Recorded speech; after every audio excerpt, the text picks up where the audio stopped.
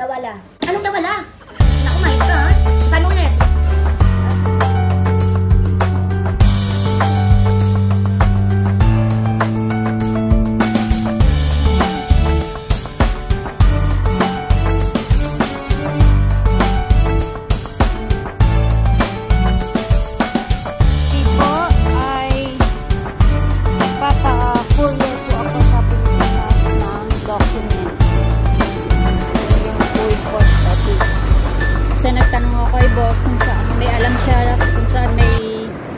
Mabilis na courier dito.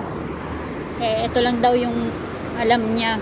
Wala na daw siyang ibang alam. So, punta ako dito sa post office para magulog nitong aking papadala sa Pinas. First time kong magulog ng ganito guys, kaya i-video. So, ito na po tayo post office. Kumuha ko ng number.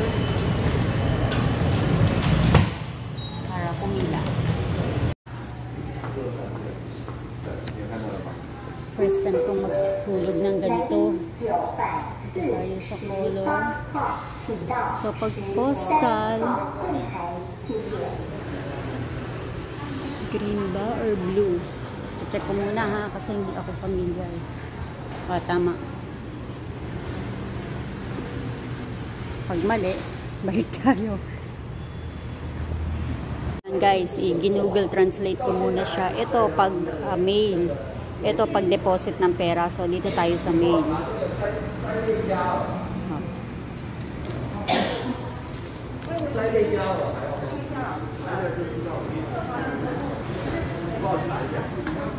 Sana mai-video ko lahat guys. Ang number is 951. Maghintay tayo ng tawag ng 951. Yan.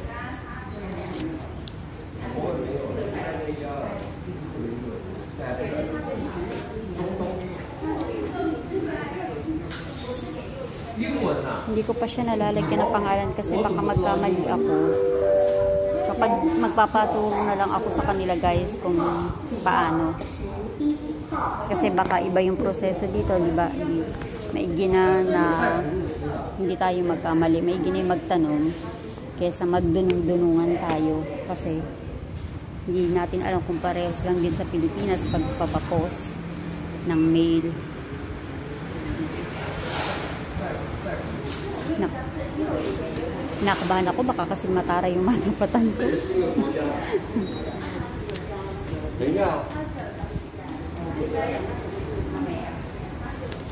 Sana mabait siya at friendly.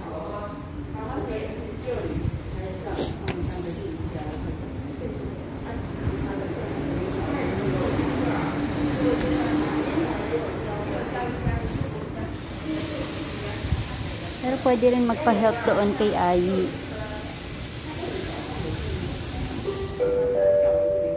Ayun, ah, dito. Eh, ni hao. What you want party tao chi Philippine? Ya chi nari? Philippine. Philippine. Yeah. Ayan.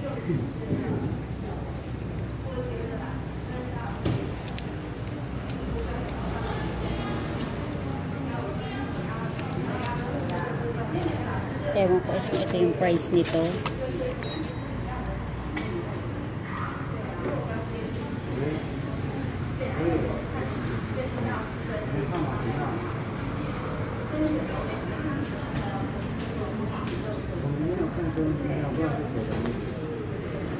Laupan, 我还没有明然后民宿了，我不知道放哪里去。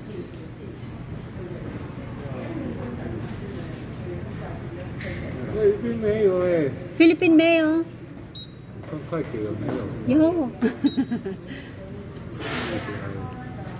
메이오라 뭐라 Sabi niya wala daw. Sa hami tong hai gì na yan? Ha? Hami tong à? Mấy hồ nào, các anh có mấy hồ nào, mấy cuối phên. Wala pala akong code. Sa code pinapasok ako.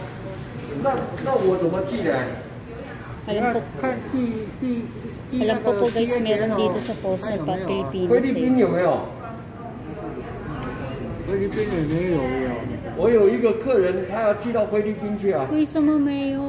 我知道有了，没有。这里没。D H L 看有没有？什么意思？然后我我你要寄寄到菲律宾？寄东西到菲律宾呢？那菲律宾有不是有吗？没有。为什么没有？菲律宾没有了，他有。我的老板在这里有了，菲律宾没有啊，要去 D H L 才有啊。菲律宾没有菲律。宾哪里？你自己看，oh, 你自己看。sabi niya wala daw. Philippines na. Oh. 在这里哪里？我这我这 H L 可以啊这里你知道哪里去？我可以寄 L 东西。比较贵啊。不是，你要用那个 FedEx，对呀，FedEx 哪里？在在台中市。台中。嗯。台中。嗯，台中，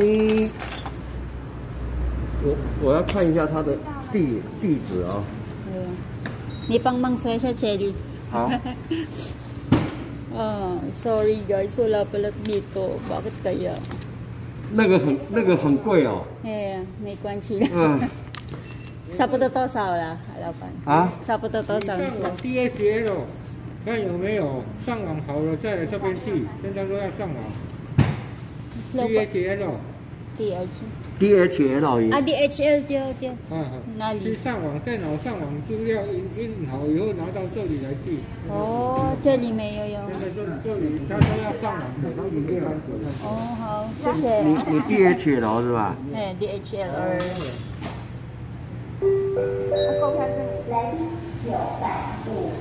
哎呀你喊他帮你叫我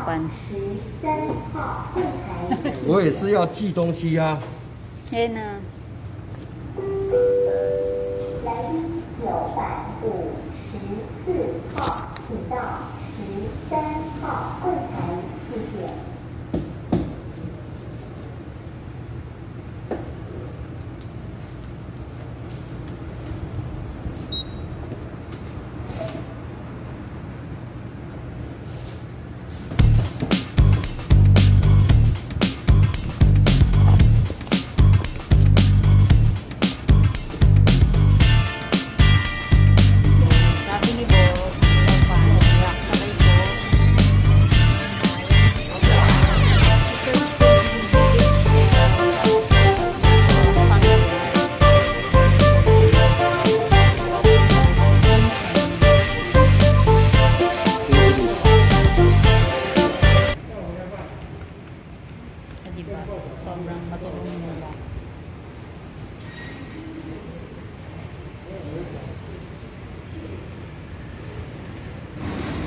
So ayun guys, pauwi na ako. Hindi tayo nag-success, no?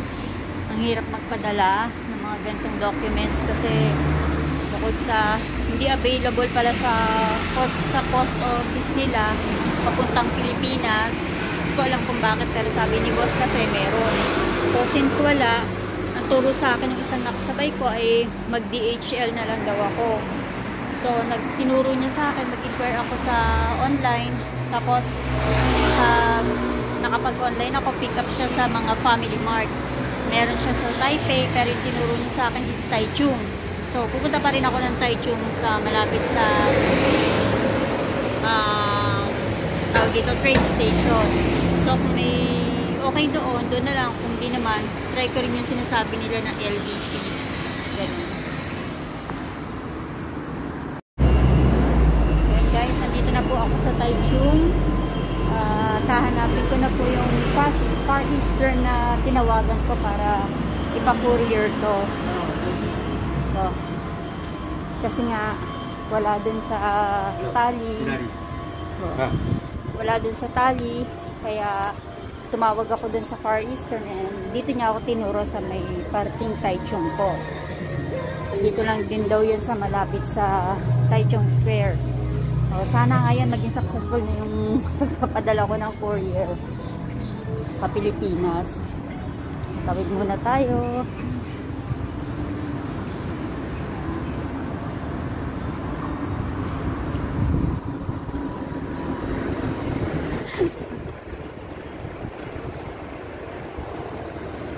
Gold Star Remittance Grocery.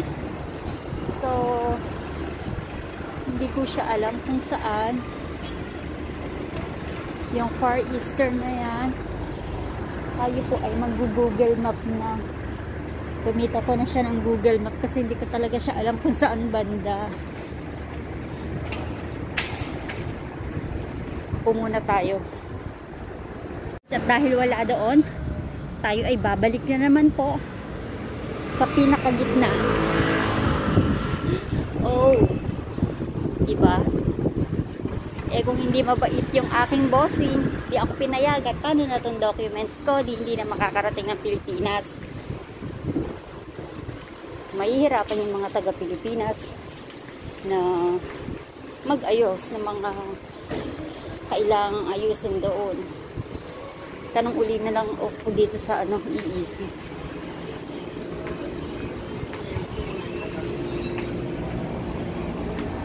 Kuya, Oo. magtatanong lang. Ano po yun? Saan po ang LBC dito sa...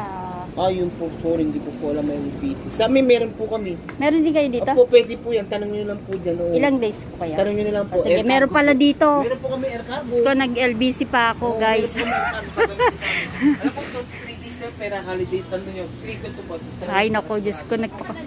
Nang courier po. Air cargo po meron kami yan. Ah, Laguna. Diyos ko, da- guys, nagpakahirap pa ako maglakad-lakad. Pwede rin po. 850, yes, okay na. Ano po yun? Ah, Express na po yan? Air Jojo pa, 5 minutes. Ha? 2998. O, Oh, yan guys, meron na. Ayun, sa easy lang pala, ay meron din. Oo, Laguna. Laguna. Mami, ano mo dito? Pirma-pirma muna tayo. Yes. Dito yung, parang sa ano lang din, pag nagpadala ka. Oo. Address dito, tapos dito. Tapos yung contact number mo as much as possible. Pwedeng dalawa, di ba madam?